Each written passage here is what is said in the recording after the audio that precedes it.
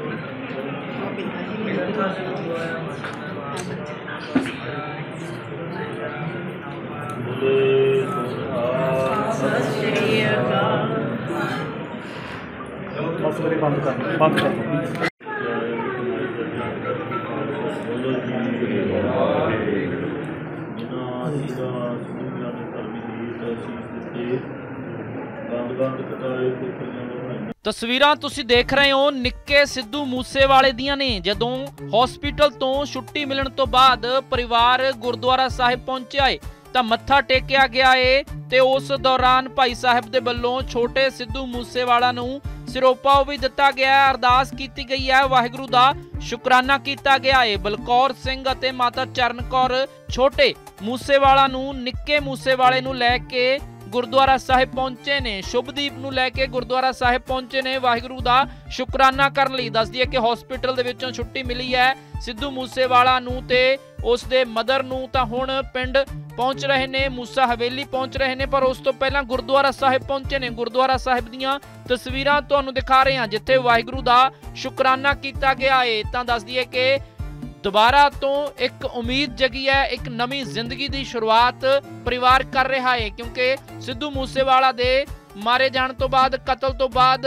ਪਰਿਵਾਰ ਉਦਾਸ ਸੀ, ਹੰਝੂ ਨਹੀਂ ਸੀ ਰੁਕ ਰਹੇ। ਤਾਂ ਦੱਸਦੀ ਹੈ ਕਿ ਹੁਣ ਮੁੜ ਤੋਂ ਰੌਣਕਾਂ ਪਰਤ ਰਹੀਆਂ ਨੇ, ਮੁੜ ਤੋਂ ਖੁਸ਼ੀ ਵਾਪਸ ਆ ਰਹੀ ਹੈ। ਸਿੱਧੂ ਮੂਸੇਵਾਲਾ ਦਾ ਪਰਿਵਾਰ ਗੁਰਦੁਆਰਾ ਸਾਹਿਬ ਪਹੁੰਚਿਆ ਹੈ। ਨਿੱਕਾ ਮੂਸੇਵਾਲਾ ਗੁਰਦੁਆਰਾ ਸਾਹਿਬ ਮੱਥਾ ਟਿਕਾਉਣ ਲਈ ਲੈ ਕੇ ਗਏ ਨੇ ਉਸ ਨੂੰ ਤੇ ਗੁਰਦੁਆਰਾ ਸਾਹਿਬ ਦੇ ਭਾਈ ਸਾਹਿਬ ਦੇ ਵੱਲੋਂ ਉਸ ਨੂੰ ਸਿਰੋਪਾਓ ਵੀ ਦਿੱਤਾ ਗਿਆ ਹੈ। ਤਸਵੀਰਾਂ ਤੁਸੀਂ ਦੇਖ ਰਹੇ ਹੋ।